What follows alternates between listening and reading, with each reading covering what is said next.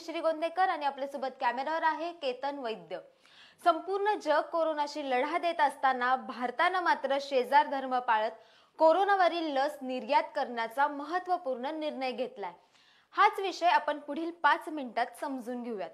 भारतात सोळा जानेवारी पासून कोविड नाईन्टी विरुद्ध जगातील सर्वात मोठ्या लसीकरण मोहिमेला सुरुवात करण्यात आली आहे पहिल्या टप्प्यात आतापर्यंत जवळपास सहा पॉईंट एकतीस लाखांहून अधिक आरोग्य कर्मचाऱ्यांचं लसीकरण करण्यात आलंय.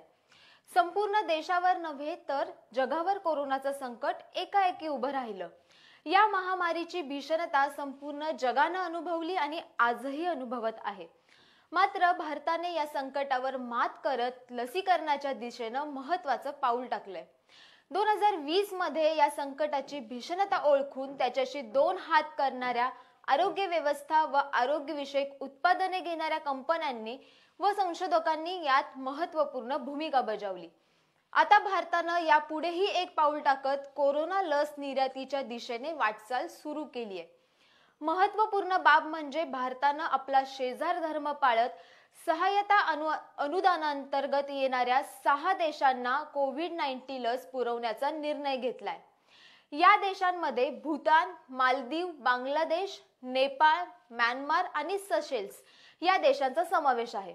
कोविशिल्ड लसच्या दीड लाख डोसची पहिली खेप भूतानसाठी रवानाही झाली आहे आरोग्य क्षेत्रात भारत जागतिक समुदायाच्या आरोग्याच्या गरजा भागवण्यासाठी विश्वासार्ह भागीदार होत आहे आणि हा भारताचा गौरव आहे असं पंतप्रधान प्रधानमंत्री नरेंद्र मोदी यांनी आपल्या ट्विटर संदेशात म्हटले शेजारील देश तसंच भारताची प्रमुख भागीदारी असलेल्या देशांनी भारतात निर्मित झालेल्या लसींची मागणी केली आहे जगातील अनेक देश लसींच्या संदर्भात भारताची मदतही घेत आहे.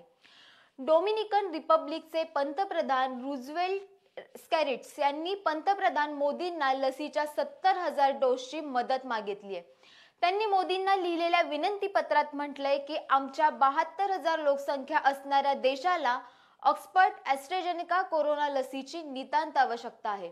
आम्ही विकसनशील लहान बेट आहोत आणि मोठ्या देशांकडे लसींची अधिक मागणी आणि त्यासाठी लागणारे पैसे देण्यास आम्ही असमर्थ आहोत. म्हणूनच आमची आपणास विनंती आहे की आमच्या लोकांना सुरक्षित ठेवण्यासाठी आवश्यकतेनुसार लसदान करून आम्हाला सहकार्य करावे.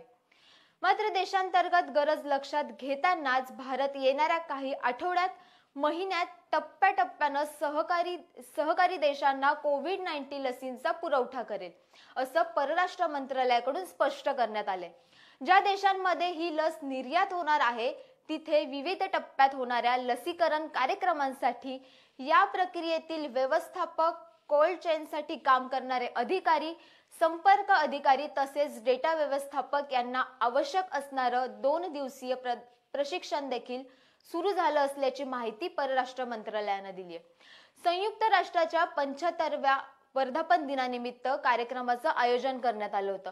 ज्यात पंतप्रधान नरेंद्र मोदींनी संबोधन करतानाच म्हटलं होतं की कोरोना विरुद्धची लढाई ही कुठल्या देशाची नाही तर ती सगळ्या मानवजातीची आहे.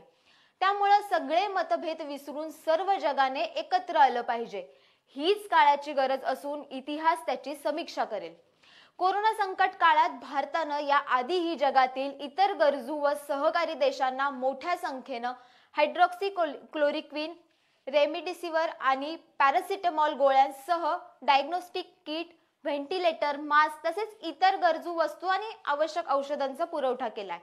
खर तर कोरोना काळात देशानं आत्मनिर्भर व्हावं असा नारा पंतप्रधान नरेंद्र मोदींनी दिला.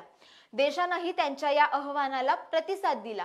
त्यामुळे भारताची वाटचाल प्रगतीच्या दिशेनं होत आहे. त्यामुळे आता केवळ आत्मनिर्भर भारत नाही तर त्या पुढे जाऊन भारत निर्भर विश्व याच दिशेनं भारताची वाटचाल सुरू झाली आहे. तर या विषयावर तुम्हाला काय वाटतं हे आम्हाला कमेंट बॉक्समध्ये नक्की कळवा. आमचा हा व्हिडिओ कसा वाटला ते देखील आम्हाला कमेंट बॉक्समध्ये कळवा. महा एम टी बीच्या फेसबुक पेजला लाईक करा. आमचं यूट्यूब चॅनल आहे ते देखील सबस्क्राईब करा आणि ताज्या घडामोडींसाठी W W dot Maha M T B dot com या आमच्या संकेतस्थळाला नक्की भेट द्या. तुर्तास धन्यवाद.